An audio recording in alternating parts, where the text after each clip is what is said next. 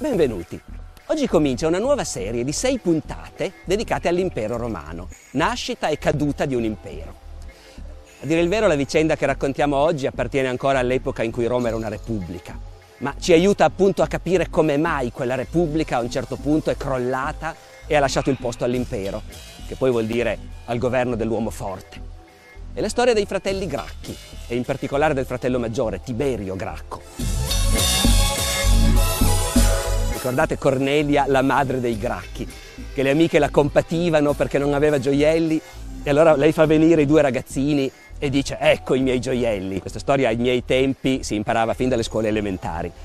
Gli inglesi della BBC che hanno prodotto questa serie, ehm, la storia di Cornelia hanno preferito non metterla e invece ci raccontano di Tiberio Gracco, il suo figlio maggiore, e della sua carriera politica e ci fanno toccare con mano le contraddizioni che hanno fatto esplodere la Repubblica Romana.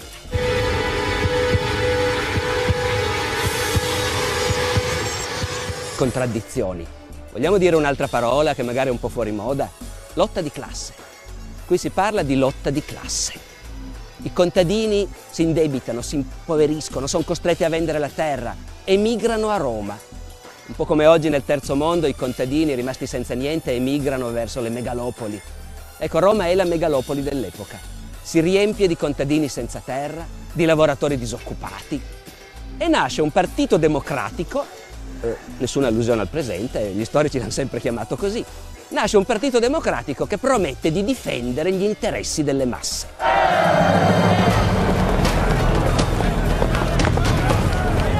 E come fanno i democratici a difendere gli interessi delle masse?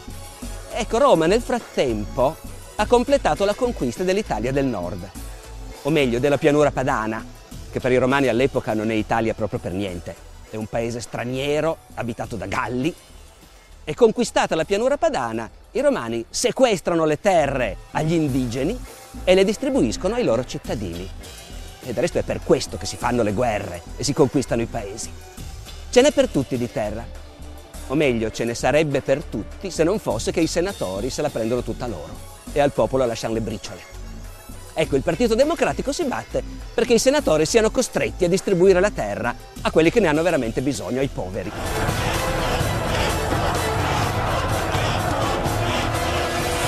Però a un certo punto Tiberio Gracco, come altri politici democratici dopo di lui, rimane impigliato nelle sue contraddizioni. Non è riuscito a realizzare tutto quello che voleva, tutto quello che aveva promesso. E allora si candida per un secondo mandato. La legge lo proibisce, ma lui fa cambiare la legge e anche dopo, quando non riesce a avere la maggioranza, invece di rassegnarsi, fa ostruzionismo duro, minaccioso. E per i suoi avversari è facile dire, vedete, quello lì vuole la dittatura. Qualche anno dopo, del resto, suo fratello Caio Gracco cadrà in una contraddizione ancora più imbarazzante e ancora più attuale a suo modo. Perché il Partito Democratico propone di dare la cittadinanza agli indigeni dell'Italia del Nord e chi si oppone è proprio il suo elettorato, i poveri di Roma.